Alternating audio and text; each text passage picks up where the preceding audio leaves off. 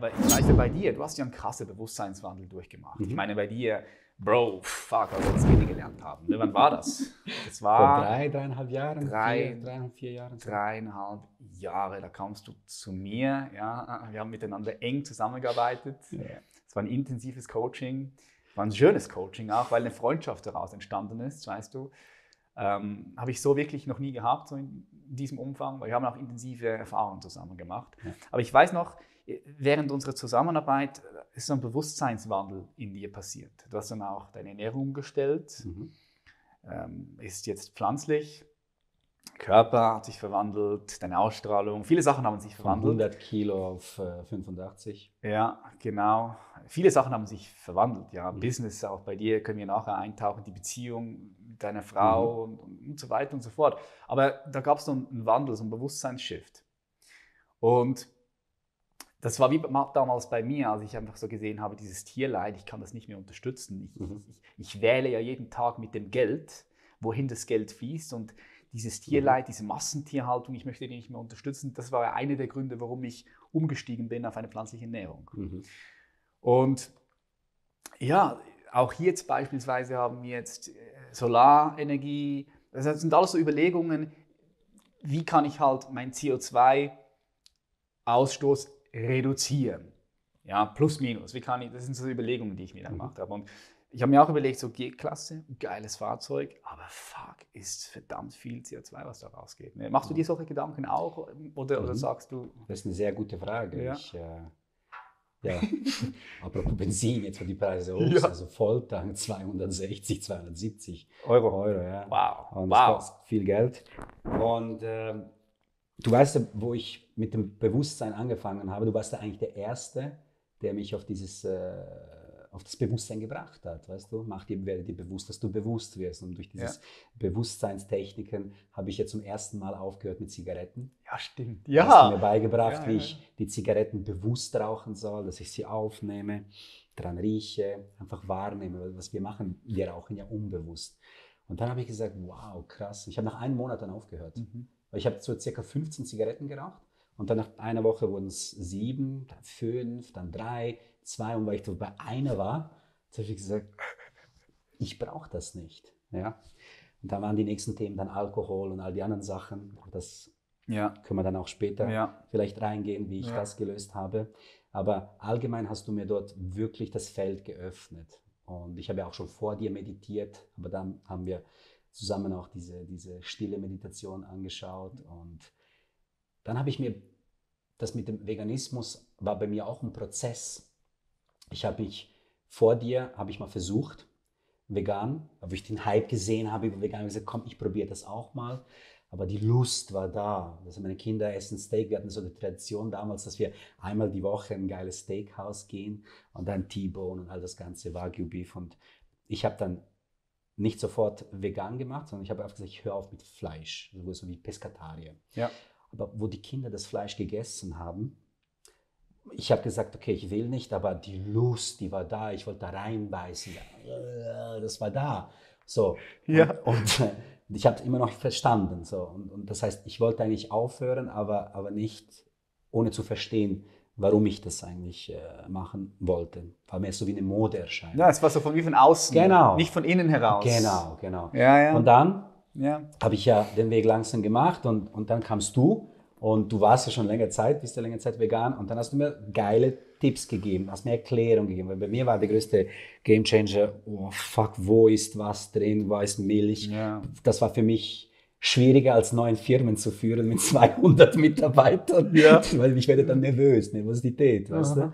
Und, ja, das äh, Neue, es muss ich ja, reinfuchsen, muss ich ja. darüber informieren, was kannst du denn jetzt essen und es ist immer so, wenn du in eine neue Welt kommst. Ich komme aus dem Balkan, ja. aus Serbien, also wir sind Fleischfresser, bei uns bei jeder Veranstaltung Lamm am Spieß, Schwein am Spieß, mein Schwiegervater denkt immer noch, ich bin krank, also weißt du, du kannst dort nicht bei jedem einfach sagen, ich bin vegan. Dann denken die, bist du schwul, bist du krank, was ist mit dir los? Die verbinden, die assoziieren, die assoziieren andere Welt. Dann, ne? Belgrad geht zur Hauptstadt, ja, Leute offen, aber gehst du weiter in den Süden, dann kannst du nicht bringen. Also dort, ich habe jetzt auch gelernt, wie ich mit den Leuten umgehe. Dann sage ich einfach, ja, ich habe Blutwerte abgegeben, der Arzt hat gesagt, ich darf kein Fleisch mehr essen. Oh, okay, super, geil. Also ja. Und dann beende ich das Gespräch. Menschen, die offen sind, dem erkläre ich halt die wahren Gründe. Was ich damit sagen will, ist, mit dem ganzen Bewusstsein bin ich immer tiefer und tiefer in diese Welt, Tierwelt reingegangen und äh, auch durch deine Unterstützung, diesen Tipps. Und wo ich aber zum, ich wurde ja Pesketarier, habe mhm. aufgehört mit Fleisch und habe Fisch gegessen. Und ja, ich nenne es jetzt mal meine Erleuchtung oder wie auch ja. immer, wo ich dann mit der Tierwelt in Kontakt, in Berührung gekommen bin. Das war bei einer Zeremonie, mhm. äh, die ich machen durfte. Was war das für eine Zeremonie? Eine Ayahuasca-Zeremonie. Ja. Und dort habe ich dann zum ersten Mal bin ich in Kontakt mit der Tierwelt gekommen. Ich habe immer gewusst, dass Tiere Emotionen haben. Ist ja klar, die lassen Tränen. Siehst du, ja. Das sieht man, das merkt In Afrika weißt du noch die Elefanten, die am Weinen ja, waren. So. Ja, Und, aber ich habe nicht verstanden, dass ein Tier eine Seele hat. Hm. Und bei dieser Ayahuasca-Zeremonie bin ich dann in die Tiere rein. Also ich habe auch Jesus dort gesehen. Ja. Und der war dann mit diesen Tieren. Erst im Nachhinein habe ich erfahren, dass es dieses Bibelbild gibt, wo er mit diesen Tieren am Baum sitzt. Vielleicht war das bei mir irgendwo unbewusst. Aber ich habe gesehen und da habe ich mich so connected. Und das hat mir zu verstehen gegeben, dass diese Tiere eine Seele haben. Und, ähm, Was hast du so wahrnehmen Ich habe das richtig wahrgenommen. Ich habe auch wahrgenommen, dass es mir oder eigentlich vielen Menschen nicht gut tut vor allem auch die Massentierhaltung und alles, dass wir einfach ohne Respekt, ohne Würde, ohne Demut die Tiere einfach schlachten und essen. Und dann habe ich für mhm. mich entschlossen und habe gesagt, hey, jetzt aus Überzeugung, nein. Mhm. So, und dann wurde ich vegan. Das, und, ja, und, ja. Spannend, was du sagst. Genau, genau. Und, und auf deine Frage zurückzukommen wegen dem Auto. Ja. Ähm, klar habe ich ab und zu äh, überlege ich mir das. Aber mein Bewusstsein ist jetzt noch nicht auf das ausgerichtet. Ja, ja, ja klar, klar. Ich gehe den Weg noch nicht, dass ich mir jetzt so krass beschäftige. Du weißt, ich habe Stiftungen, ja. ich unterstütze über 100 Familien und manchmal, klar, kommt sowas und dann denke ich mir, okay, in meiner Welt, ich verschmutze ein bisschen zu hart äh, die Umwelt, aber auf der anderen Seite helfe ich so vielen anderen Menschen mhm. und finde für mich dort ehrlich gesagt den Ausgleich. Mhm. Ist aber keine Ausrede. Ähm, ich habe mich ehrlich gesagt noch nicht damit auseinandergesetzt. Ja, ja, ja. Nee, ich, ich, ich sage das auch gar nicht so in, einem vorwurfsvollen, in einer vorwurfsvollen Haltung, weißt du, weil das siehst du ja immer wieder hier in, der, in Deutschland, Schweiz und überall auf der Welt, dass die Leute dann kommen und mit dem Finger auf dich zeigen. Weißt du, das finde ich, das macht überhaupt gar keinen Sinn.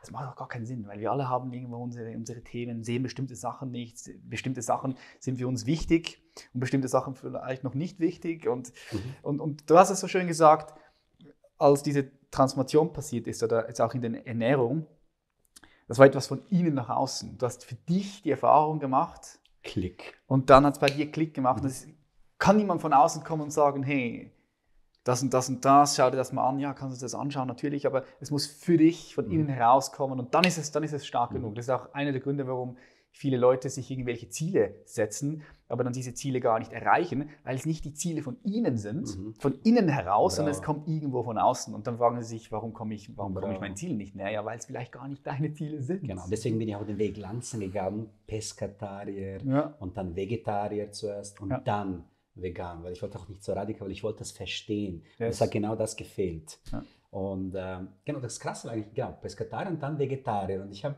nie verstanden, du hast es mir zwar mehrmals erklärt, ich habe es gelesen, warum keine Milch und warum keine Eier. Und dann, das war die zweite Ayahuasca-Zeremonie dann, ja. wo ich gemacht habe. Und da bin ich dann wirklich in die Kuh rein. Ja, ja, also okay. Also das hört sich jetzt vielleicht, ja, ist, aber ich erzähle jetzt einfach. Ja, ja, ja. Ich bin in die Kuh rein und habe ich gesehen, wie das ganze schleimig verarbeitet wird. Und sie hat mir gesagt, hey, das ist nur für mein Baby. Und ihr seid die einzige Spezies, die sich die Frechheit nimmt, das einfach zu trinken. Das mhm. ist nicht für euch gemacht, es ist schädlich.